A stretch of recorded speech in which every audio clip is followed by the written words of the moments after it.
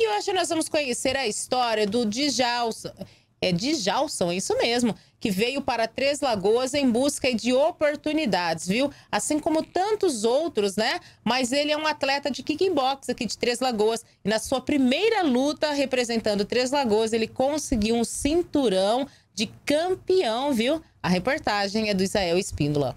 Este cinturão de ouro é de Três Lagoas e quem trouxe para nossa cidade foi o de Jalson Oliveira, de 28 anos. O atleta foi campeão do Open Paulista de Kickbox em 2023.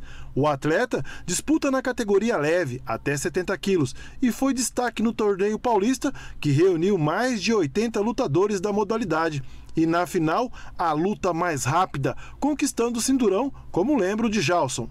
Cara, foi um campeonato com bastante equipe, bastante gente. Eu fui o único sul-mato-grossense, né?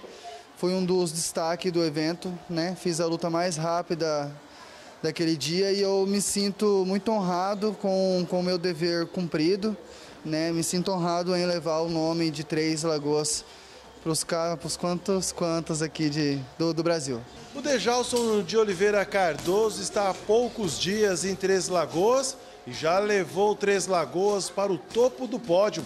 Foi campeão de kickboxing na etapa paulista que aconteceu em Mogi das Cruzes neste mês de março. O atleta de kickboxing faz parte do Centro de Artes Marciais Licans Clube e agora se prepara para o próximo combate que acontece na cidade de Porto Murtinho, aqui mesmo no estado. Mas os desafios são grandes, não só no ringue. Recebi uma proposta para mim poder sair da minha cidade, deixei o meu lar, né, deixei as minhas casas para mim, na minha casa para mim poder viver da luta.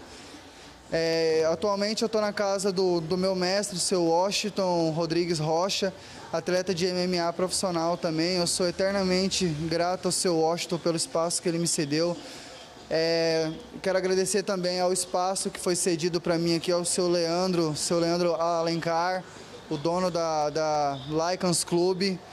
E assim, a vida de atleta não é fácil, cara, é corrido, a gente tem que treinar.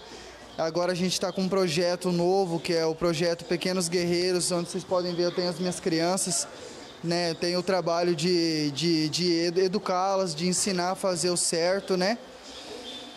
E sobre apoio, eu estou correndo atrás aos poucos. É o que é mais difícil hoje em dia, né? É os empresários poder depositar confiança em um atleta. Então eu prefiro demonstrar isso trabalhando, mostrando o meu trabalho para a população de Três Lagoas. Treinos, aulas com as crianças e mais treinos. Djalso Oliveira é mais um guerreiro que busca brilhar nos rings e quem sabe poder lutar no Ultimate Fight Championship.